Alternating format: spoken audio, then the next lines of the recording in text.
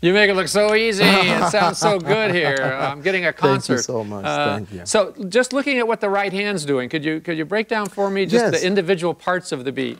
Yes, um, the pattern I'm playing on my right hand is called cascara that uh, we use in the Latin music a lot. You know, salsa, Latin jazz, and uh, all over the Latin music. So cascara is is basically this pattern. It sound like this. So one, two, three. Uh.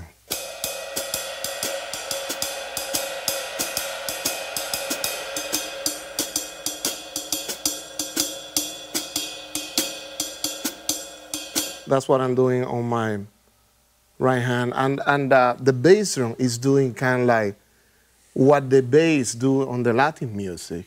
That is usually the pattern that go three, four, doom, doom, doom, doom.